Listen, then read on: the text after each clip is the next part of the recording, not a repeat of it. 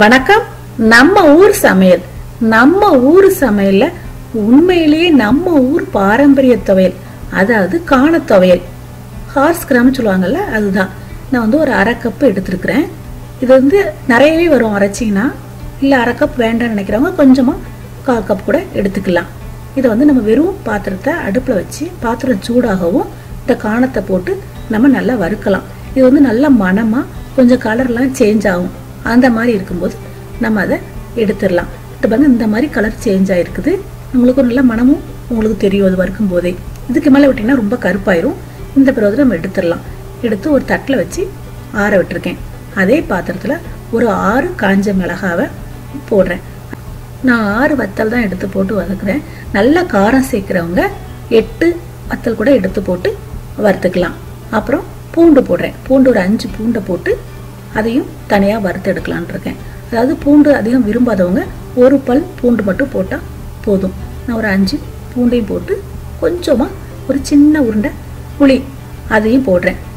துவையலில் வந்து உப்பு உரப்பு புளிப்பு எல்லாம் கரெக்டாக இருந்தால் தான் ரொம்பவே நல்லா இருக்கும். அதனால் சின்ன துண்டு புளியும் போட்டு வறுத்து எல்லாத்தையுமே தட்டில் ஆற வச்சுருக்கிறேன். இப்போ மெயினாக என்ன பண்ணுறேன்னா கொஞ்சம் தேங்காய் எடுத்துருக்கேன். இது சில்லாக எடுத்துருக்கிறேன். இதை வந்து நான் பொடிசு பொடிசாக கட் பண்ணி அதையும் நம்ம ஆற வச்சுருக்க தட்டோட சேர்த்து மிக்சியில் போட்டு நல்லா அரைச்சி எடுக்கலாம். அப்புறம் உப்பு தேவை. உப்பையும் போடுறோம். எவ்வளோ தேவையோ அந்த அளவுக்கு நீங்கள் போட்டுக்கோங்க.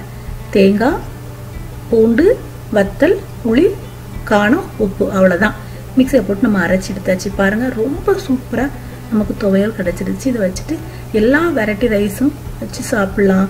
கஞ்சி குடிக்கலாம். வெறும் சாதத்தில் கூட இதை போட்டு நீங்கள் விரவி சாப்பிட்லாம்.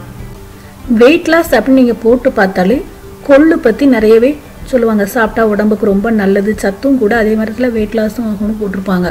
கொள்ளு அப்படிங்கிறது நான் சொல்கிற காணம் தாங்க. அது வேற ஒன்றும் இல்லை. எங்கள் பாட்டி காலத்துலலாம் அதை காணும் சொல்லதுனால நானும் அப்படி காண துவையல் காணம் அப்படின்னே உங்கள்கிட்டையும் சொல்லிட்டு இருக்கிறேன். இது கொள்ளு தான். இதையும் நீங்கள் செஞ்சு பாருங்கள் இந்த வீடியோ பிடிச்சிருந்தா லைக் பண்ணுங்கள் ஷேர் பண்ணுங்கள் சப்ஸ்கிரைப் பண்ணுங்கள் முக்கியமாக உங்கள் கமெண்ட்ஸ்க்கெல்லாம் கண்டிப்பாக எனக்கு சொல்லுங்கள் என்னோட இந்த வீடியோவை பார்த்ததுக்கு மிக்க நன்றி.